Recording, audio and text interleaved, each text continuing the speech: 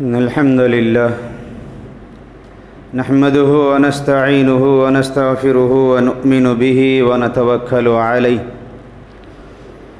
ونعوذ بالله من شرور أنفسنا ومن سيئات أعمالنا من يهده الله فلا مضل له ومن يضلل فلا هادي له وأشهد أن لا إله إلا الله وأشهد أن محمدا عبده ورسوله.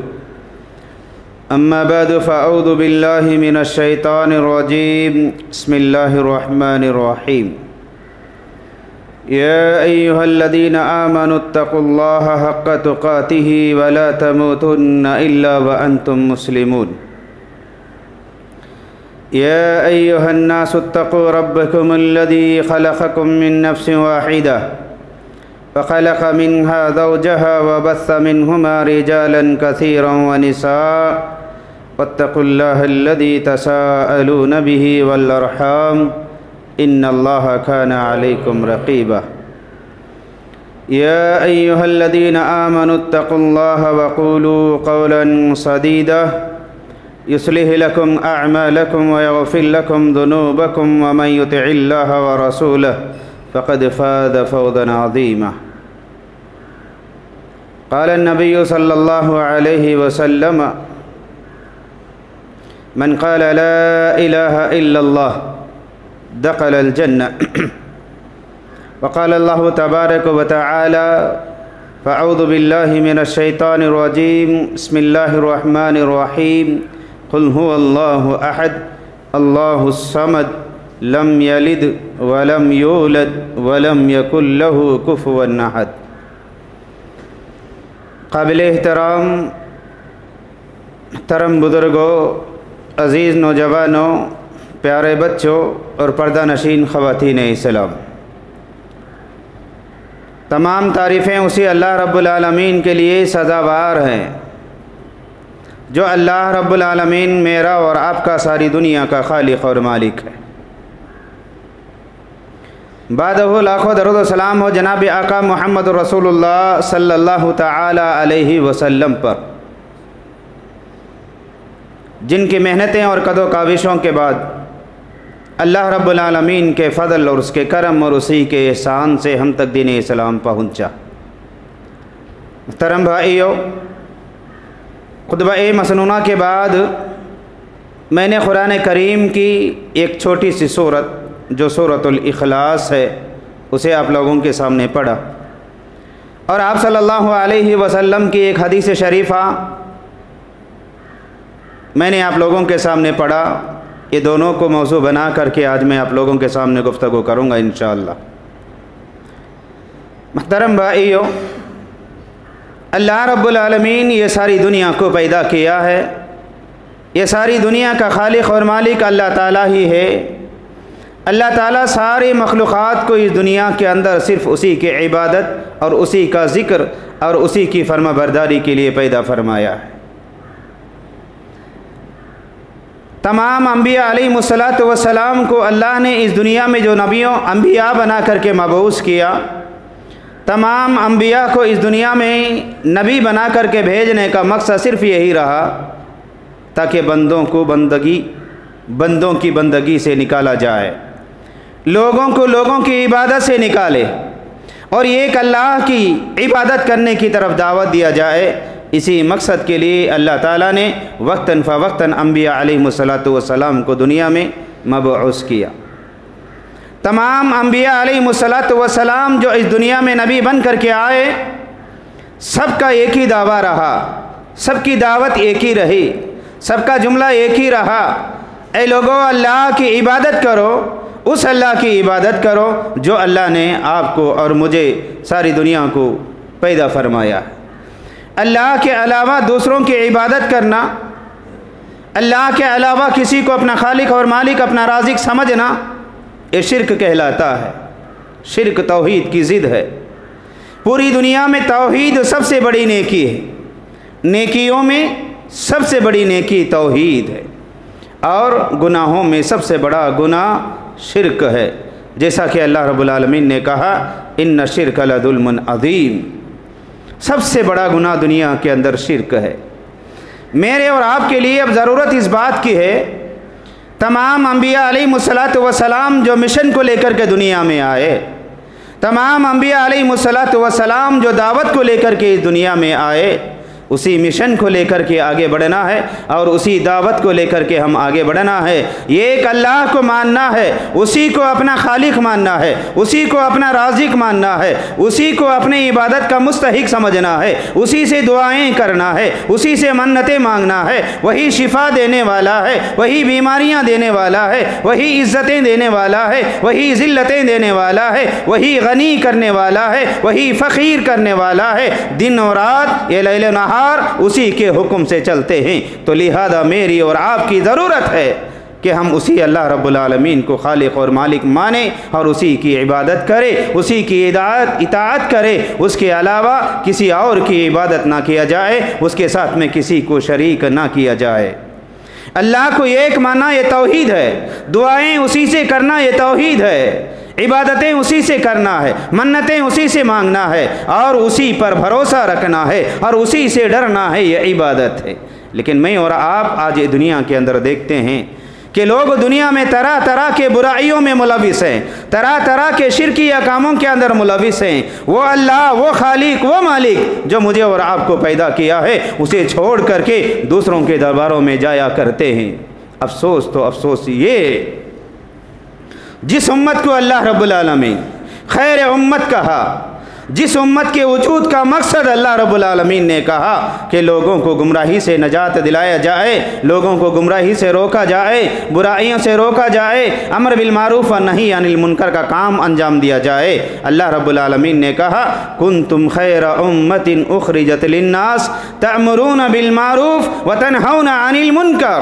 یہ ہمارے زندگی کا مقصد ہے، یہ امت محمدی کا مقصد ہے۔ امت محمدی تمام امتوں میں افضل امت ہے۔ وہ اس لیے کہ یہ صرف توحید پر عمل کرتے ہیں اور یہ توحید کی دعوت دیتے ہیں۔ اسی لیے امت محمد صلی اللہ علیہ وسلم کو خیر امت کہا۔ لیکن آج خون کے آنسو نکلتے ہیں۔ وہ امت جسے خیر امت کہا، وہ امت جو برائیوں سے روکنے کے لیے پیدا کی گئی ہے۔ وہ امت جسے توحید کی دعوت دینے کے لیے پیدا کیا گیا ہے، یہی امت آج دنیا کے اندر طرح طرح کے برائیوں میں ملوث ہے۔ طرح طرح کے شرکی کاموں کے اندر ملوث ہے۔ اللہ پر بھروسہ کرنے کے بجائے درختوں پر بھروسہ کر رہی ہے، جانوروں پر بھروسہ کر رہی ہے، حیوانوں پر بھروسہ کر رہی ہے، پتھروں کی پوجا کر رہی ہے، حیوانوں کی پوجا کر رہی ہے تعویدات کے اوپر بھروسہ کر رہی ہے کاغذات پر بھروسہ کر رہی ہے، تاگوں پر بھروسہ کر رہی ہے، پتھروں کی پوجا کر رہی ہے، درختوں کی پوجا کر رہی ہے، مردوں سے منتیں مانگی جا رہی ہیں۔ اور دنیا میں دنوں کو منحوس سمجھتے ہیں، مہینوں کو منحوس سمجھتے ہیں۔ افسوس یہ ہے کہ دنیا میں اللہ کی مخلوق میں سے کوئی مخلوق ایسی نہیں ہے۔ جسے میں اور آپ، یہ امت محمدیہ، جسے خیر امت کہا گیا ہے، یہ امت دنیا کی اللہ کی ہر مخلوق کو منحوس سمجھتی ہے۔ میں اور آپ جس مہینے سے گزر رہے ہیں، یہ مہینہ ماہ سفر کا مہینہ۔ اب یہ ماہ سفر کا مہینہ اس کے چند ایام گزر بھی چکے ہیں۔ یہ مہینے کے تعلق سے لوگوں کے اتنی زیادہ غلط عقائد ہیں، غلط رسومات کے اندر پھنس گئے ہیں۔ ماہ سفر کو منحوس مہینہ سمجھتے ہیں۔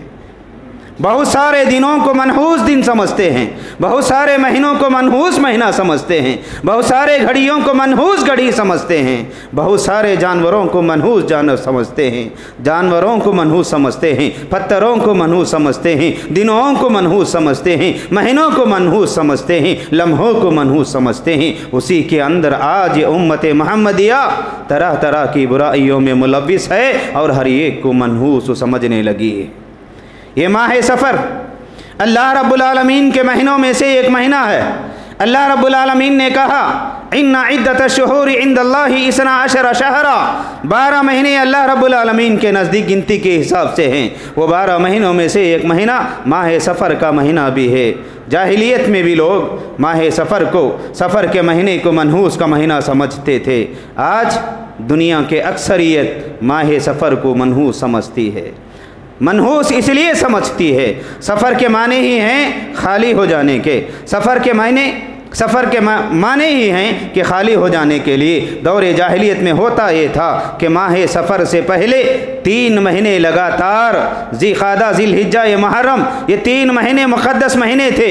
یہ تین مہینوں میں لڑائی منع تھی، لوٹ مار منع تھا، جنگ و جدال منع تھا، یہ تمام کے تمام چیزیں منع کر دیے گئے تھے۔ تو لوگ انتظار کرتے رہتے تھے کہ یہ تین اشور حرم کب ختم ہو جائے، محرم مہینے کب ختم ہو جائے۔ جیسے ہی یہ مہینے ختم ہو جاتے، ماہ سفر آ جاتا، ہر گناہ کے اندر ملوث ہونے والے گناہ کے اندر ملوث ہو جاتے۔ لوٹ مار کرنے والے سفر کا مہینہ جیسے ہی آ جاتا تو لوٹ مار کے اندر چلے جاتے۔ چوری کرنے والے چوری میں چلے جاتے۔ لڑائی جھگڑا کرنے والے لڑائی جھگڑے میں چلے جاتے۔ ہوتا ایسا تھا کہ اس کی وجہ سے آپسی لڑائیاں، آپسی خانہ جنگیاں ہوا کرتے تھے اور اس مہینے کے اندر یہ خانہ جنگیوں میں بہت سارے مرد ختم ہو جاتے تھے، بہت سارے مرد مر جاتے تھے، اسی لیے گھر خالی ہو جاتے تھے۔ اسی کی مناسبت سے عرب کے لوگ اس ماہ سفر کو، سفر کا مہینہ قرار دیا۔ لوگ لوٹ مار کرنے جاتے، لوٹ مار میں لڑائی، جھگڑا ہوتا، مر جاتے، ختم ہو جاتے، مہینے کو منحوس سمجھتے تھے۔ ان کی غلطیوں کی طرف توجہ نہیں دیتے تھے، اپنی اصلاح کی فکر نہیں کرتے تھے، بلکہ ماہ سفر کو منحوس مہینہ سمجھتے تھے۔ میرے بھائیو، یہ یاد رکھو، کوئی بھی مہینہ منحوس مہینہ نہیں ہے۔ کوئی بھی دن منحوس دن نہیں ہے، کوئی بھی گھڑی منحوس گھڑی نہیں ہے۔ لوگ یہ سمجھتے ہیں کہ یہ مہینہ منحوس ہے، یہ گھڑی منحوس ہے، یہ لمحہ منحوس ہے۔ اللہ کے نبی رسول اللہ صلی اللہ علیہ وسلم نے کہا، اللہ رب العالمین نے کہا، اللہ کہتا ہے، لا تصب الدہر و الدہر۔ تم زمانے کو برا بھلا نہ کہو کیونکہ میں خود زمانہ ہوں یہ اللہ تبارک و تعالیٰ کہتا ہے اللہ کو برا بھلا کہنا اس کے دینوں کو برا کہنا ہے اس کے دینوں کو برا کہنا اللہ کو برا کہنے کے برابر ہے اگر کوئی کسی مہینے کو برا کہتا ہے تو وہ اللہ کو برا کہتا ہے کسی دن کو برا کہتا ہے وہ اللہ کو برا کہتا ہے کسی لمحے کو برا کہتا ہے وہ اللہ کو برا کہتا ہے اس لیے میرے بھائیوں یہ غلط عقیدوں سے اپنے آپ کو بچاؤ آج توحید ختم ہوتی جا رہی ہے۔ برائیاں دنیا میں پلتے جا رہے ہیں۔ شرکیہ کام گھر گھر جنم لے رہے ہیں۔ کیا عقیدہ ہے؟ کیا ہماری توحید ہے؟ یاد رکھو، توحید کے بغیر، اخلاص کے بغیر، للہیت کے بغیر کوئی بھی عمل اللہ کے ہاں قابل قبول نہیں ہوتا۔ یہ مشرقین مکہ رسول اکرم صلی اللہ علیہ وسلم سے کہا کرتے تھے کہ ہم بھی نیکیاں کرتے ہیں، تم بھی نیکیاں کرتے ہو۔ تمہاری نیکیاں جیسے اللہ کے ہاں قبول ہوں گے، ہمارے بھی نیکیاں ایسے ہی قابل قبول ہوں گے، یہ سمجھتے تھے۔ لیکن اللہ رب العالمین نے کہا، تمہاری نیکیاں اللہ کے ہاں قابل قبول نہیں ہیں، اس لیے قابل قبول نہیں ہے کہ اللہ پر تمہارا یقین نہیں ہے۔ الوحیت کو تم نہیں مانتے ہو، ربوبیت کو تم نہیں مانتے ہو، اسماء و صفات کو تم نہیں مانتے ہو اس لیے تمہارے نیکیاں بیکار اور برباد ہیں۔ عرب کے لوگ بھی حاجیوں کو کھانا کھلاتے تھے، مسافروں کی مدد کیا کرتے تھے، غریبوں اور یتیموں کی مدد کیا کرتے تھے، مسکینوں کا خیال رکھا کرتے تھے، یتیموں کا خیال رکھا کرتے تھے۔ لیکن یہ تمام لوگوں کے نیکیوں کے تعلق سے اللہ رب العالمین نے کہا، ہم ان کے نیکیوں کو راکھ بنا کر کے اڑا دیں گے۔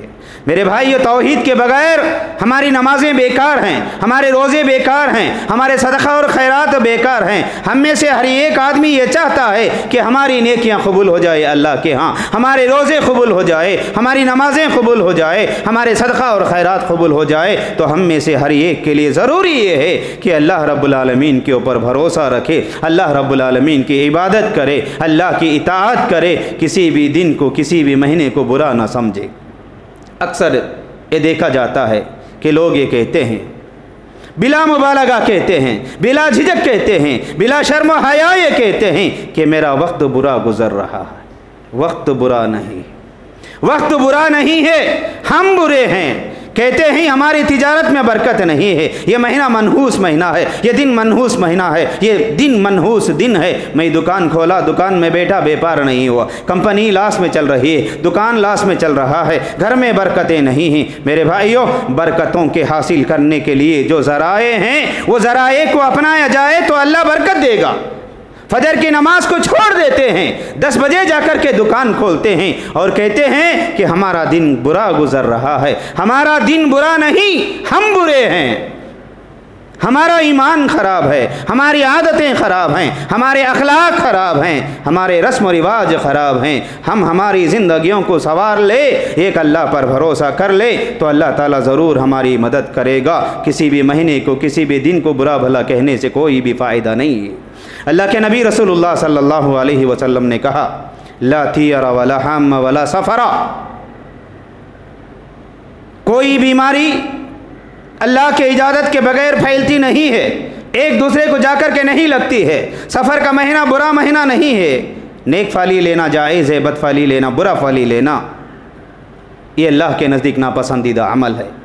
اس لیے میرے بھائیوں، اللہ رب العالمین کے اوپر یقین رکھے۔ یہ ماہ سفر جس سے میں اور آپ گزر رہے ہیں، اس میں سے بہت سارے لوگ ایسے ہیں کہ کوئی بھی اچھا کام نہیں کرتے ہیں، دکان نہیں کھولتے ہیں، شادی بیاہ نہیں کھولتے ہیں، عمارتوں کی بنیاد نہیں رکھتے ہیں۔ کوئی بھی اچھا کام، کوئی بھی بھلائی کا کام یہ سمجھتا ہے، وہ کام کو اس مہینے میں نہیں کرتے ہیں۔ کیونکہ ماہ سفر منحوس مہینہ یہ سمجھ کر کے کوئی بھی کام نہیں کرتے ہیں۔ عمر ابن خطاب رضی اللہ عنہ نے کہا، ہمارا دین ہمیں یہ سکھاتا ہے، ہمارا اسلام ہمیں یہ سکھاتا ہے، کوئی بھی بھلائی کا کام، کوئی بھی اچھا کام یہ سوچ کر کے کر رہا ہے کہ اس مہینے میں کیا جائے، یہ لمحے میں کیا جائے، یہ دن میں اگر کیا جائے تو اس کے اندر برکت نہیں ہوگی، یہ سمجھ کر کے رک جاتا ہے۔ تو سمجھو کہ وہ اللہ رب العالمین کے بارے میں بد زن ہے، وہ دن کو برا سمجھ رہا ہے، وہ مہینے کو برا سمجھ رہا ہے۔ تو لہذا زمانے کو برا بھلا کہنے سے فائدہ نہیں ہے۔ افسوس اس بات کا ہے کہ لوگوں نے آج دنیا میں کس کو چھوڑا ہے۔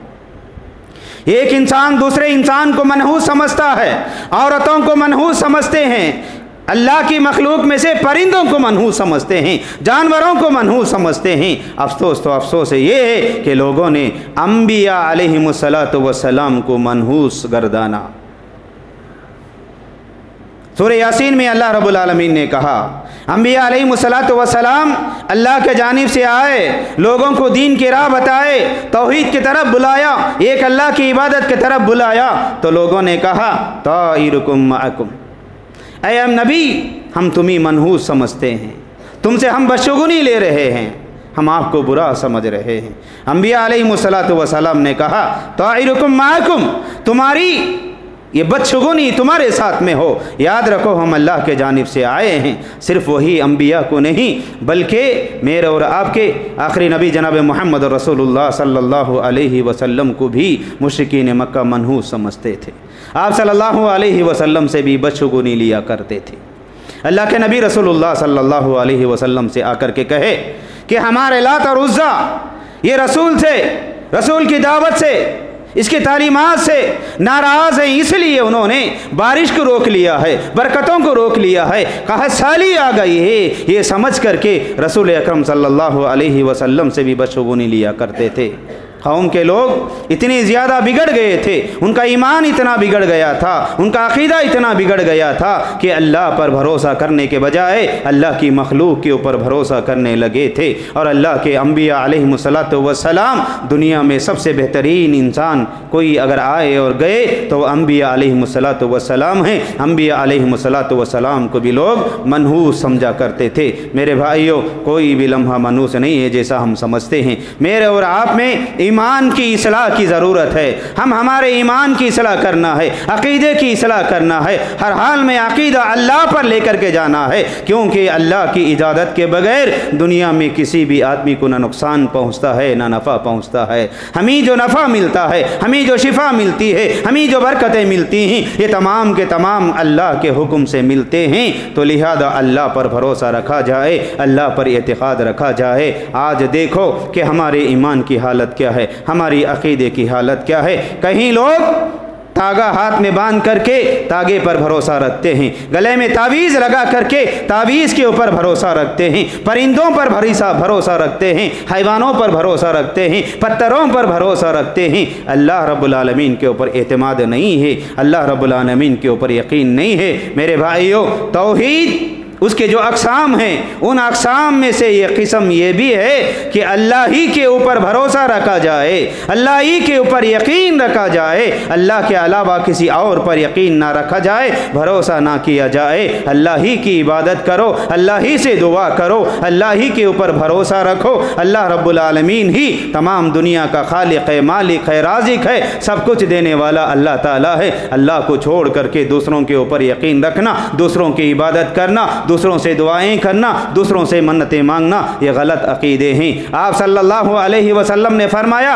من علق تمیمتا فقد عشرکا جس نے ایک تعویذ لگایا وہ تعویذ اس ارادے سے لگاتا ہے کہ تعویذ اسے نجات دلائے گی۔ کیا ہے ہمارا عقیدہ؟ کیا ہے ہمارا ایمان؟ ایک چھوٹا سا کالا تاگا جو گلے میں باندھ لیتے ہیں، پیروں میں باندھ لیتے ہیں، انگلیوں میں لگا لیتے ہیں۔ یہ کڑے، یہ تعویذ، یہ تمام کے تمام چیزیں انسان کو کمزور کر دیتے ہیں۔ یہ تعویذ کچھ بھی نہیں کرتی ہے، بلکہ یہ نقصان پہنچاتی ہے۔ اس لیے عقیدے کی درستگی کرو، صحیح عقیدہ پیدا کرو۔ اللہ پر یقین رکھو، اللہ پر بھروسہ رکھو۔ کسی زمانے کو برا نہ کہو، کسی مہینے کو منحوس نہ کہو، کسی دن کو منحوس نہ کہو، کسی گھڑی کو منحوس نہ کہو۔ اللہ کے اوپر بھروسہ رکھو، اللہ کے اوپر یقین رکھو۔ توحید اگر آ جائے گی تو اللہ کی رحمتیں ہمارے پاس آ جائیں گے۔ توحید کے نہ رہنے کی وجہ سے بہت سارے نقصانات آتے ہیں۔ غلط عقیدے کی وجہ سے بہت سارے برائیاں پھیل جاتے ہیں۔ غلط عقیدے کی وجہ سے دنیا میں بھی ذلتیں ملتی ہیں اور آخرت میں بھی ذلتیں آتی ہیں۔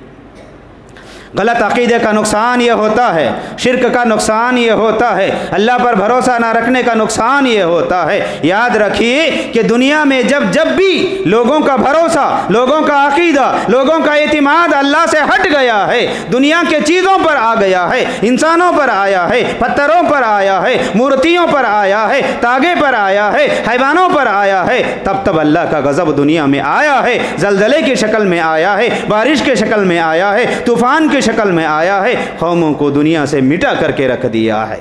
تو عقیدہ برا ہونے کا نقصان، بہت سارے نقصانات ہیں۔ اس میں سے سب سے بڑا نقصان یہ ہوتا ہے کہ اللہ کے جانب سے عذاب آ جاتا ہے۔ برکتیں اڑ جاتی ہیں، بیماریاں پھیل جاتی ہیں، وبائیں آ جاتی ہیں، زلزلے آ جاتی ہیں، رحمتیں ہٹ جاتی ہیں۔ بہت سارے نقصانات اس کے ہو جاتے ہیں۔ یہ غلط عقیدے کی وجہ سے۔ غلط عقیدے کی وجہ سے انسان کے اندر بزدلی آ جاتی ہے۔ وہ ہر چیز کو دیکھ کر کے ڈرنے لگ جاتا ہے۔ غلط عقیدے کی وجہ سے آدمی بزدل بن جاتا ہے۔ اس کی طاقت ٹوٹ جاتی ہے۔ اس کی ہمت ٹوٹ جاتی ہے۔ اللہ سے رشتہ ٹوٹ جاتا ہے۔ اللہ سے تعلق ٹوٹ جاتا ہے۔ اس کی وجہ سے آدمی دنیا کے اندر در در کی ٹھوکریں کھاتے ہوئے چلے جاتا ہے۔ اور شرک کی وجہ سے آدمی دنیا میں ہمیشہ ذلیل و خار ہو جاتا ہے۔ وہ قوم جو اللہ پر بھروسہ رکھتی ہے، وہ قوم جو اللہ پر اعتماد رکھتی ہے، وہ قوم جو اللہ پر توقع رکھتی ہے، وہ قوم جو اللہ پر ایمان لاتی ہے، یہ قوم دنیا میں ہمیشہ بلندی پر رہی اور ہمیشہ بلندی پر رہے گی۔ اللہ رب العالمین کا یہ وعدہ ہے۔ اللہ رب العالمین کہتا ہے، اگر تمہارا تعلق اللہ سے مضبوط ہو جائے گا، اللہ تمہیں دنیا کے اندر عزتوں سے نوازا۔ اللہ رب العالمین نے کہا اگر تم ایمان لے آؤ، رسول کی اطاعت کرو، اللہ پر بھروسہ رکھو، تو اللہ تعالیٰ تمہیں دنیا کے اندر سر بلندی عطا فرمائے گا۔ انتم العلون ان کنتم مؤمنین، تم دنیا میں سر بلند رہو گے جبکہ اللہ پر یقین رکھے۔ میرے بھائیوں، باتیں بہت ساری ہیں۔ بتانا میرا مقصد یہ ہے کہ جس مہینے سے میں اور آپ گزر رہے ہیں، یہ ماہ سفر ہے۔ سفر کا مہینہ ہے، اس کے چند دن گزر چکے ہیں۔ اور سفر کے مہینے میں طرح طرح کی بدعتیں ہوتی ہیں، طرح طرح کے خرافات ہوتی ہیں۔ مہینے کو منحو سمجھا جاتا ہے، اچھے کاموں میں آگے نہیں بڑھتے ہیں، شادی بیاہ نہیں کرتے ہیں۔ میرے بھائی یہ دیکھو، اگر ماہ سفر میں شادی بیاہ کرنے کی وجہ سے طلاقیں ہو جاتی ہیں، نقصان ہوتا ہے۔ آدمی ذلیل ہو جاتا ہے تو رسول اکرم صلی اللہ علیہ وسلم اپنی ازواج متحرات میں سے دو بیویوں کا نکاح رسول اکرم صلی اللہ علیہ وسلم نے ماہ سفر میں کیا ہے۔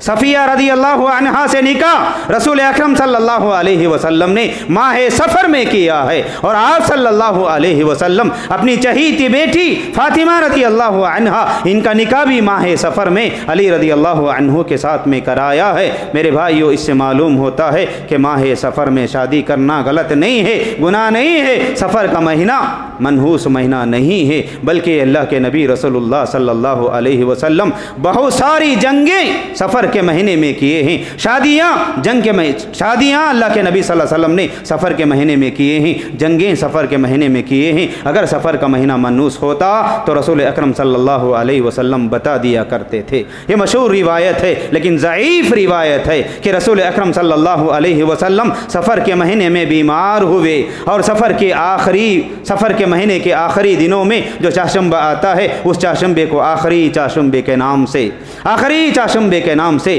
لوگ اپنے گھروں کو چھوڑتے ہیں، اپنے بیوی بچوں کو لے کر کے، کھانا گھروں میں بنا کر کے لے کر کے باہر نکل چلے جاتے ہیں، ندیوں میں چلے جاتے ہیں، جنگلات میں چلے جاتے ہیں، وہاں جا کر کے سیر و تفریح کر کے آتے ہیں۔ تو یہ کر کر کے آنے کا ان کا عقیدہ یہ ہوتا ہے کہ رسول اکرم صلی اللہ علیہ وسلم کو بیماری آئی اور آخری مہینے میں یہ مہینے کے آخری ایام میں اللہ کے نبی صلی اللہ علیہ وسلم کو شفا ملی۔ اس لیے رسول اکرم صلی اللہ علیہ وسلم باہر گئے ہریالی خندلنے کے لیے باہر گئے۔ یہ سوچ کر کے بہت سارے لوگ ہر بستی کے اندر یہ بیماری ہوتی ہے۔ سفر کا مہینے میں آخری جو بدھ کا دن آتا ہے، وہ دن کو آخری چاشمبہ سمجھ کر کے عید کی طرح سے اس دن کو بناتے ہیں۔ اور سمجھتے ہیں کہ سفر کا مہینہ ختم ہو گیا، منحوس منحوسیت ختم ہو گئی، نحوست چلے گئی۔ اب اس کے بعد کے آنے والا مہینہ؟ برکتوں والا مہینہ آئے گا۔ تو ایسے طرح طرح کے خرافات ہیں۔ بہت سارے لوگ یہ بھی کرتے ہیں کہ سفر کے مہینے میں آخری چاشمبہ جو آتا ہے، وہ چاشمبے کے دن پورے بدن میں تیل لگاتے ہیں، چاول بانٹتے ہیں، انڈے بانٹتے ہیں، صدقہ کرتے ہیں، خیرات کرتے ہیں، صدقہ کرو، کرنا چاہیے، لیکن ہمیشہ صدقہ کرو،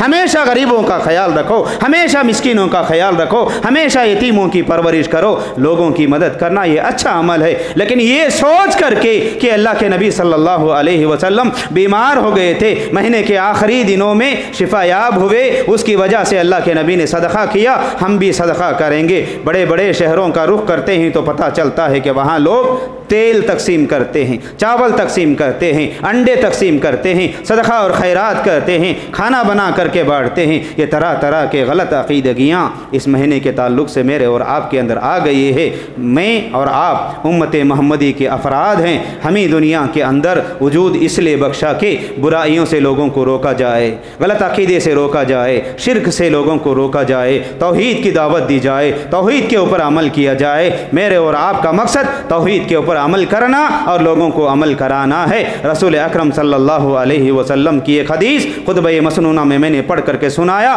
پیارے نبی صلی اللہ علیہ وسلم نے کہا، قولوا لا الہ الا اللہ تفلحون، قولوا لا الہ الا اللہ تفلحون۔ ایک اور حدیث میں اللہ کے نبی نے فرمایا، صلی اللہ علیہ وسلم، من قال لا الہ الا اللہ دخل الجنہ۔ یا لا الہ الا اللہ کہنے والا جنت میں جائے گا۔ اس کا مطلب یہ نہیں ہے کہ کلمہ پڑھ لیے تو بس جنت میں چلے جائیں گے، بلکہ کلمہ پڑھنے کے بعد کلیمے کے تقادوں کو پورا کرنا ہے۔ یہ کلمہ جس چیز کی دعوت دیتا ہے، اس پر عمل پیرا ہونا ہے۔ ہر حال میں ہم اللہ کو اپنا خالق مانے، اللہ کو اپنا رازق مانے۔ یہ عقیدہ مضبوط کر لے کہ دنیا میں تکلیفیں دینے والا بھی اللہ ہے۔ موت دینے والا بھی اللہ ہے، حیات دینے والا بھی اللہ ہے، بیماری دینے والا بھی اللہ ہے، شفا دینے والا بھی اللہ ہے، برکتیں دینے والا بھی اللہ ہے، نقصان دینے والا بھی اللہ ہے، عزتیں دینے والا بھی اللہ ہے، ذلتیں دینے والا بھی اللہ ہے۔ یہ تمام دنیا، یہ دنیا کا نظام اللہ رب العالمین کی قبضہ قدرت میں ہے۔ اللہ رب العالمین کہتا ہے، ان اللہ علی کل شعین قدیر۔ دنیا کی ہر سلطنت، ہر لمحہ، ہر دن سب کے سب اللہ رب العالمین کی قبضہ قدرت میں ہے کوئی بھی آدمی ہمیں دنیا میں اللہ کے حکم کے بغیر نہ نقصان پہنچا سکتے ہیں اور نہ نفع پہنچا سکتے ہیں۔ اس لیے میرے بھائیوں عقیدے کی اصلاح کرو۔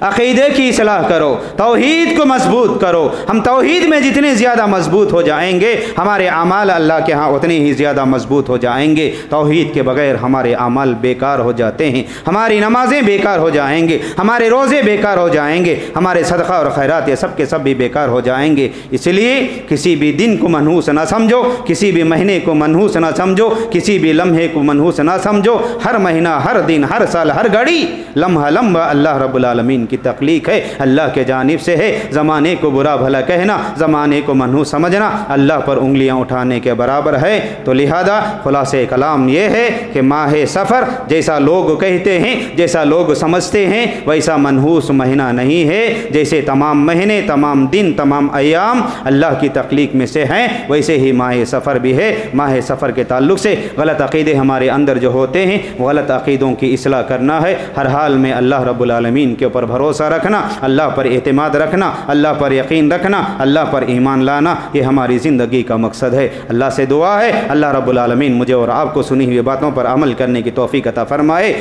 برے عقیدوں سے بچائے، صحیح عقیدے کو اختیار کرنے کی ہم سب کو رب العالمین توفیق سے بخشے۔ آمین أقول قولی هذا. أستغفر الله لي ولكم ولسائر المسلمين أجمعين. بارك الله. بارك الله لنا ولكم ونفعنا وإياكم بذكر الآيات الحكيم. إنه تعالى جواد كريم ملك برؤ رعوف ورب حليم. الحمد لله. الحمد لله. نحمده ونستعينه ونستغفره ونؤمن به ونتوكل عليه ونعوذ بالله من شرور أنفسنا ومن سيئات أعمالنا. من يهده الله فلا مضل له ومن يضلل فلا هادي له. وأشهد أن لا إله إلا الله وأشهد أن محمدا عبده ورسوله. أما بعد فأعوذ بالله من الشيطان الرجيم. بسم الله الرحمن الرحيم. إن الله وملائكته يصلون على النبي. يا أيها الذين آمنوا صلوا عليه وسلموا تسليما. اللهم صل على محمد وعلى آل محمد کما صلی على ابراہیم ولا ابراہیم إبراهيم إنك حميد مجيد. اللهم بارك محمد ولا علی محمد کما بارک على ابراہیم وعلى ابراہیم إبراهيم حمید حميد مجید فأعوذ بالله من الشيطان الرجيم. بسم الله الرحمن الرحيم. ربنا آتنا في الدنيا حسنة وفي الآخرة حسنة وقنا عذاب النار. ربنا لا تؤاخذنا إن نسينا أو أخطأنا. ربنا ولا تحمل علينا إسرا كما حملته على الذين من قبلنا. ربنا ولا تحملنا ما لا طاقة لنا به. واعف عنا واغفر لنا وارحمنا أنت مولانا فانصرنا على القوم الكافرين. اللهم إني أعوذ بك من الجبن والبخل.